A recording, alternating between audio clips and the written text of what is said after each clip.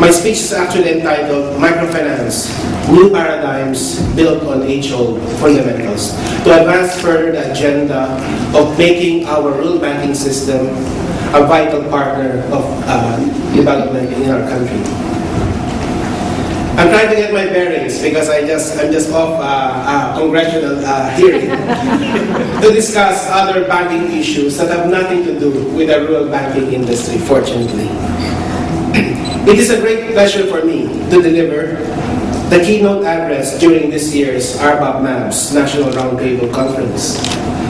I am certain that this will be another productive gathering of peers and partners where useful discussions and exchanges of relevant ideas can take place. The agenda for this uh, two-day me meeting is filled with very current and exciting topics. Many things are changing. New developments are taking place. Indeed, we are, in my view, in the midst of the formation of a new paradigm of a solid network of stable, self-sustaining, and dynamic rural financial institutions that are capable of mastering leading-edge technologies to serve better the, the vast market of the underbanked in our country. Just 15 years ago, when we talk about microfinance in the Philippines, we will most probably be referring to a handful of banks and non-governmental organizations that are providing loans for micro-entrepreneurs, typically through groups and center meetings. This uh, short narration showcases that we are now seeing an industry that has grown leaps and bounds from modest beginnings. The viability of the business of microfinance, the lower barriers to entry, the enabling environment, and the huge potential market has resulted in one, a large number, a larger number and more diverse set of players. Two, a wider range of products and services. And three, revolutionary changes in the way the services are delivered. It is evident that microfinance is no longer the exclusive domain of banks and other credit providers. There is no scope for new players like telecommunications companies and network service providers, among others, our issuance of circulars uh, number 649 and 704 on electronic money or e-money. E-money issuers and e-money network service providers recognize these new partners and create a framework for a robust retail payments and mobile banking ecosystem. The regulations also ascertain that all the players are proportionately regulated to ensure consumer protection, financial system stability, and integrity. For all of you, this should present an enormous opportunity to reposition the rural banking system. As banks, you have the advantage of being authorized to provide a wide range of financial services to the general public, which the other players are not allowed to do. As rural banks, long embedded in the countryside, uh, in the countryside communities that you serve, you already possess the intimate knowledge and appreciation of your market's preferences and needs. This inherent strength should be leveraged with the services and capabilities that new players bring to create potent partnerships and linkages to reach wider markets at lower cost. As the saying goes, it is most productive to, to stand on shoulders rather than step on toes. We are already seeing these kinds of collaboration bear fruit as banks are able to access new clients and existing clients more efficiently through mobile banking platforms. The increased competition in the market has also led to many innovations in products and delivery channels. This benefits both providers with a wider range of possible products that they can offer, as well as clients who now have more and better options. This is a logical development because experience in the delivery of microfinance show that microfinance clients need a wide range of financial products and services. This is the reason why we now see the proliferation of different types of loans a variety of innovative savings accounts, facilities to make payments transfers, and products to insure against risks. Our regulations have deliberately provided scope and space for these innovations. Our issuances on housing microfinance, micro-agri loan products, and microinsurance through circulars number 678, 680, and 683. They, you'll notice they are in quick succession. Respectively, in our definition of micro deposits, now allow you to offer a complete suite of products to your clients, thereby increasing the overall value and reputation of your service as well as expanding and diversifying your income streams. Delivery channels and customer interface are also changing. Now, bank clients need not travel uh, to bank head offices and branches for all their transactions and instead can use mobile phones, the internet, or go to a retail outlet or merchant.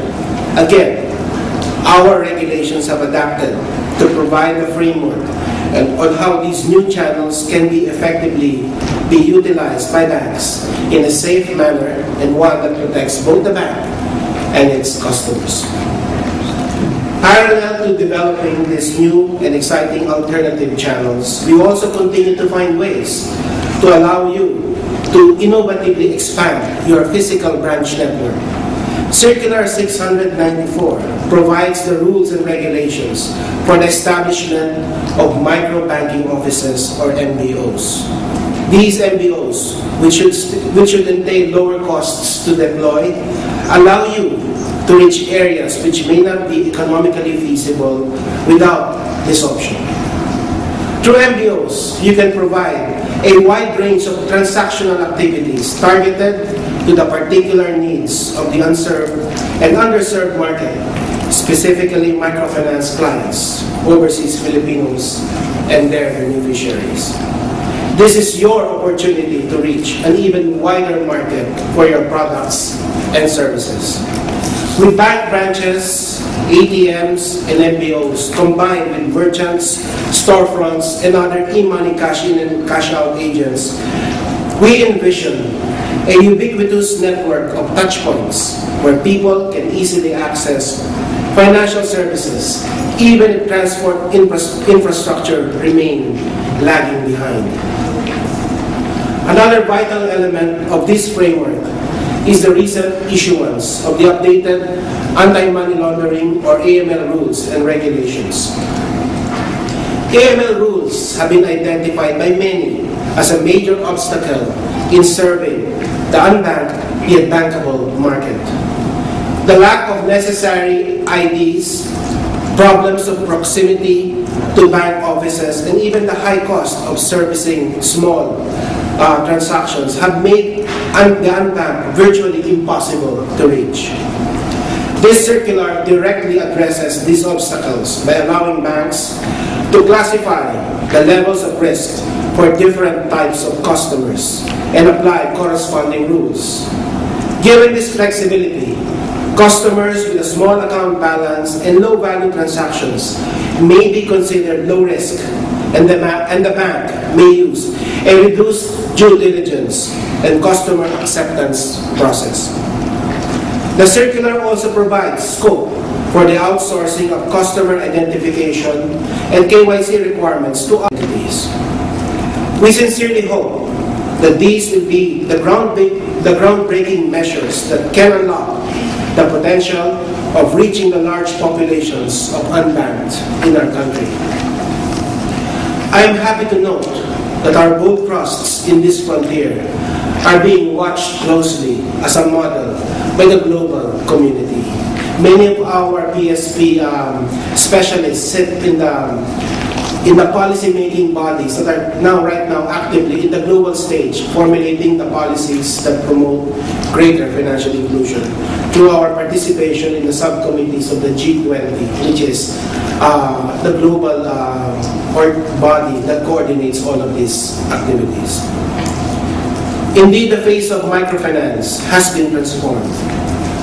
However, unlike a genuine paradigm shift where there is a complete change of how things are done, some age-old and time-tested constants remain. First, strong institutions are a prerequisite. The business of banking is a business of trust, and, that, and this trust rests on the stability of your institutions. While there may be a wide array of opportunities available for banks, only the strong and stable ones can effectively seize them. In addition, these strong banks are the ones who will be able to thrive and gain from the benefits of a competitive market. The challenge, therefore, is for you to continue with the reforms that will ensure improved governance and management structures, stronger capital positions and balance sheets, as well as solid and strategic business plans. Making, making sure that all these are in place are central to your interest as rural bankers. The Bangko Sentral is committed to support you in upholding the strength and stability of your banks. Central to this are our efforts towards the improvement of rural banks' capital positions and increased capacities to better manage risks. It is in line with this objective that we have issued Circular Number 696 on the minimum capital requirement for new banks. Banks that are converting to another category, banks that are relocating to an area with a higher classification, or for banks whose total assets or majority of deposit liabilities are in branches located in areas with higher classification. Our risk-based uh, capital adequacy framework for standalone thrift, rural and cooperative banks, on the other hand, aims to enable banks to, number one, better identify, measure, and manage risks. Number two, reduce the level of non-performing assets, thereby strengthening the overall asset quality. And number three, promote greater transparency and market discipline. We're also continuously working on the strengthening program for rural banks, or SPRB, to promote mergers and consolidations as a means to further strengthen the rural banking industry. Second, your business models should be clear. To be successful in microfinance is to fully know and understand the peculiarities and intricacies of its business model. As microfinance has flourished and gained popularity, many have been eager to join the bandwagon. If you do not have the tools, skills, and commitment to microfinance, it will be so easy to follow this rally. Microfinance requires strict adherence to controls and to monitoring quality. The basic concept of microfinance remains that it is a financial product for clients with a regular cash flow. Not every poor need credit. Not every borrower is an entrepreneur. The design of your product must reflect your full understanding of your market and its needs. Having a clear business model also means abiding and subscribing to the internal policies such as credit underwriting policies which your institutions have crafted even in light of rapid growth and ambitious targets. These policies should never be sacrificed or relaxed. This will ensure that the growth of your business is a sustainable one. We must bear this in mind to avoid the type of microfinance crises that happen in other countries like India and Bolivia. Lastly, as banks, your ultimate task is to provide a service to your clients and protect their interest. The advances in the industry are happening at a dizzying pace. Yet we must always be reminded to remain our, to maintain our focus on consumer protection. This is as basic as adequately informing your clients about your basic products, providing your clients with appropriate options and choices, and even supporting your clients to increase their capacities to understand these products. In your experience, I am sure, you know that a happy customer is a good customer. This way, your clients truly become your loyal partners in development. On the part of the Bangko Sentral ng Pilipinas, after the path-breaking strides in supporting innovation. Our approach to microfinance has been lauded by reputable institutions like the Eco- Economist Intelligence Unit and most recently, the World Economic Forum. Indeed, this is something to celebrate. Yet there is much more that needs to be done. We all know that many are still wanting for financial services. We must remain unrelenting in our objective in increasing financial access to all. I am confident that we have the fundamentals in place to finally unleash the potential of a truly inclusive financial system in this country. We need to continue moving forward, seizing new opportunities while adhering to the time-tested constants. As partners in local economic development, rural banks play a central and critical role. Your Bangko Sentral ng Pilipinas will always be there to support you. Thank you very much and I wish you all a productive national